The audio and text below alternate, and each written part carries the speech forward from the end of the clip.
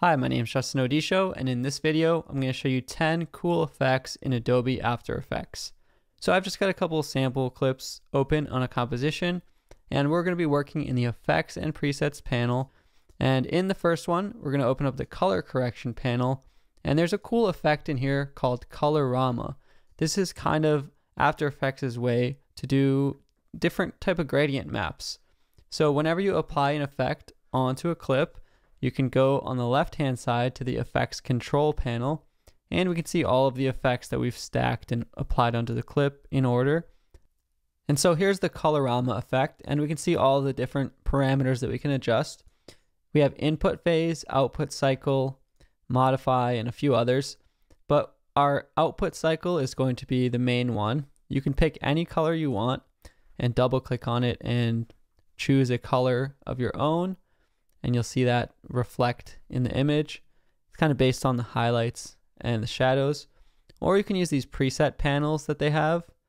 So they have different hue cycles, negative image, color ramps. There's really a lot of flexibility and different effects that you can achieve just by tinting and color ramping. And all of them just within this colorama effect along with your custom effects. So as the video plays, you'll see that it remains with this gradient applied onto it. And not only can you create these cool like thermal or tinted effects, you can also animate things. So you can shift the phase, the input phase, so that the colors are reflecting or taking over different surfaces. And just with as with any other parameter, if you click on the stopwatch icon, and then move forward, you can always add animation to things. So if you drop down the layer menu, go to all the effects that you have on there, you'll see in the colorama effect that we have two keyframes here, one and two, under the phase in this example. And as you play between those, you'll see the phase will slowly start to shift as we shifted it. And you can animate anything you want, and you can add expressions onto anything you want or just leave it as is. So there's a couple other advanced tools for you, so like cycle repetition and more. But lots of fun and flexibility all within this one effect. Another cool effect that we have is the displacement map effect. So in this case, I'm going to drag another layer from my project media panel and I have a video clip of some waves here. So we've got some waves. We have an effect called displacement map, which is in the distort video effects folder right here, displacement map. And any one of these that I'm saying, you can also just search using the search bar. So here's displacement map. And if I add this displacement map onto that original video clip and choose for the map layer that new or that water clip that I have, what's happening is it's taking the water and it's rippling the clip underneath to that water clip. Now you see in this case the two clips are different sizes. So that's why we have this displacement map, stretch map to fit, or tile map. In this case, we'll stretch map to fit. And what we've done is we've created this unique water ripple displacement is using this clip on top. So technically I didn't have to adjust the scale of that clip. It's being stretched as a map here in the effect, but you can apply these custom displacements on text or video clips or graphic or shape objects. So you can adjust the max horizontal or vertical displacement and you can play around with any sort of clip, not just a water ripple. Any clip can displace another clip, even non-video clips things that you generated. So that kind of goes into another effect that we're going to talk about, which is fractal noise. This is a effect that is going to allow us to create clouds and noise and also animate them in different ways. So you have lots of different types. You have basic, turbulent noise. This kind of can create all kind of cool digital effects and you can increase the contrast, brightness, complexity and animate them so you can see along with the previous effect, if I was to use this as a displacement map, I simply have to choose effects and masks under the displacement map and hide the visibility of that so we can see. And now you see we're using that fractal noise as a displacement of this original image. So you can keep it as a static displacement, like so, just kind of like a glassy look. Or you can animate that fractal noise and it'll also animate what's underneath.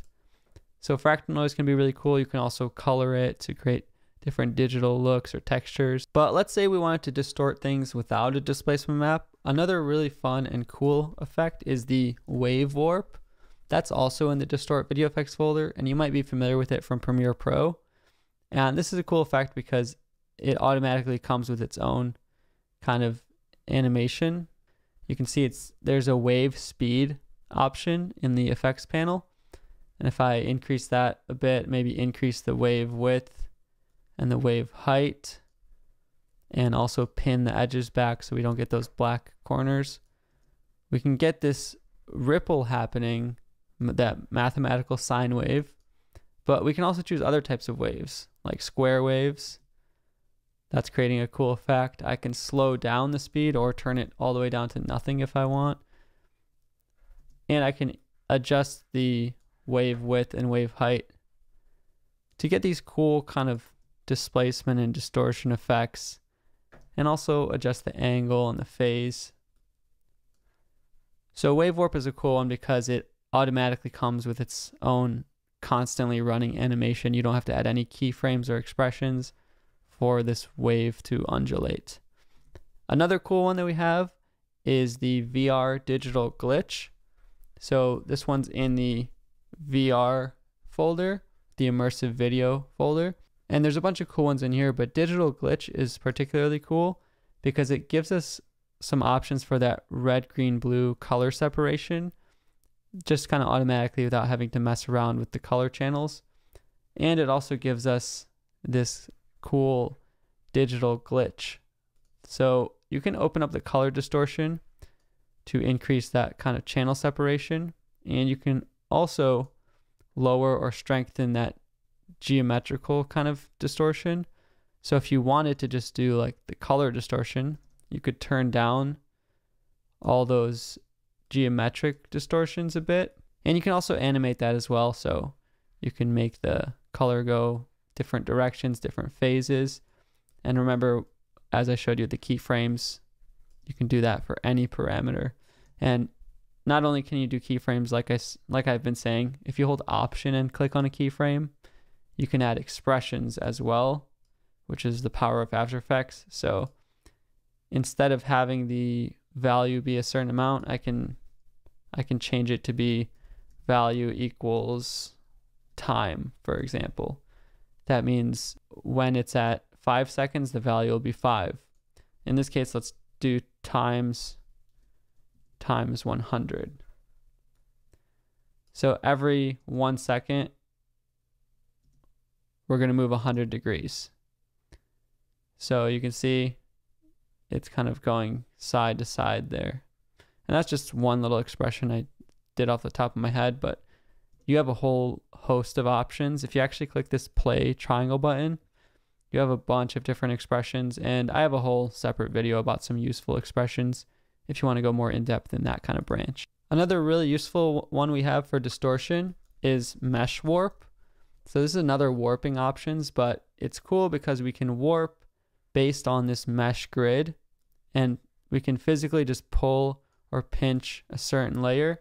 So if I wanted to distort along more or less rows and columns, I can do that and get these custom kind of distortions that I can make in one direction or the other, kind of opening or closing things up how I want and adjusting the rows and columns to my liking.